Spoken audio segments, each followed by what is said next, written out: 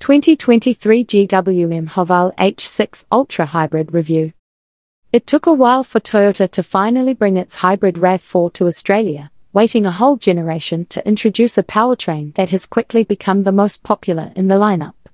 With the RAV4 hybrid selling up a storm and waiting times blowing out to up to two years, there's clearly demand for a mid-sized hybrid SUV.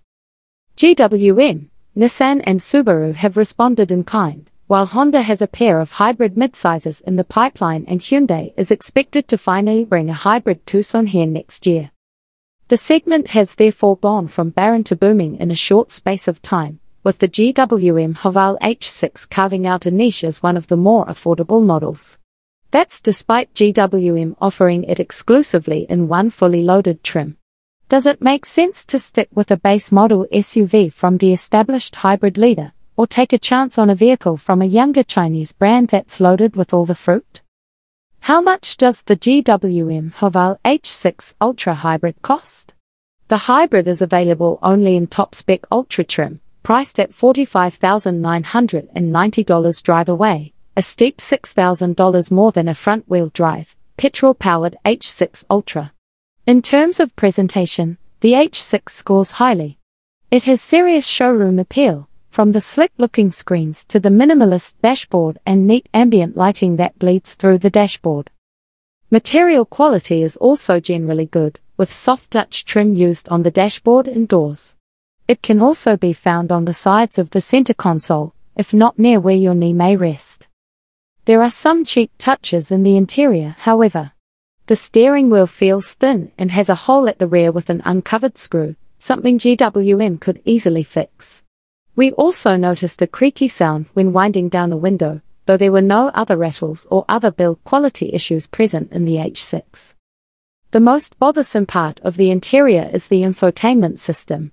That neat, minimalist dashboard design has been achieved by removing a lot of the physical switchgear, leaving you to go burrowing through touchscreen menus to control functions like turning on the ventilated seats or changing the drive mode.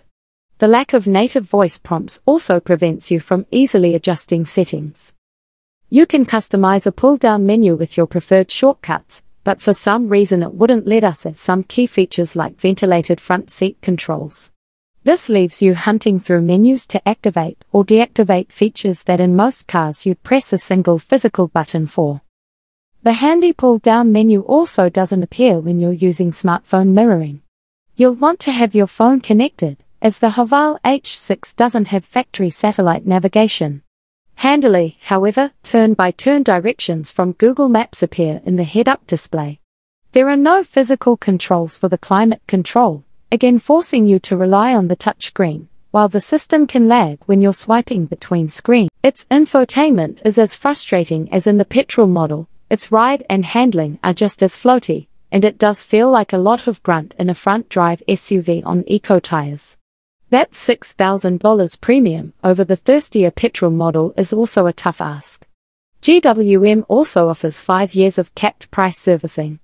The first service is due at 12 months or 10,000 kilometers and costs $225, with subsequent services at 15,000 kilometers intervals. They're priced at $250, $400, $550 and $225. That works out to a total servicing cost of $1,650 over five years, while under the Forester Hybrid L, $2,963.61, but slightly pricier than a RAV4, $1,300.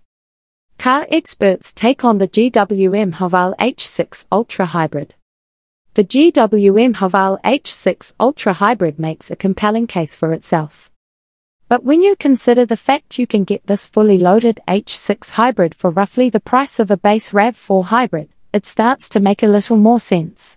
The occasional rumbly sound does intrude on the EV mode Serenity, but this is otherwise a responsive powertrain that in some respects is more pleasant than that of the Toyotas.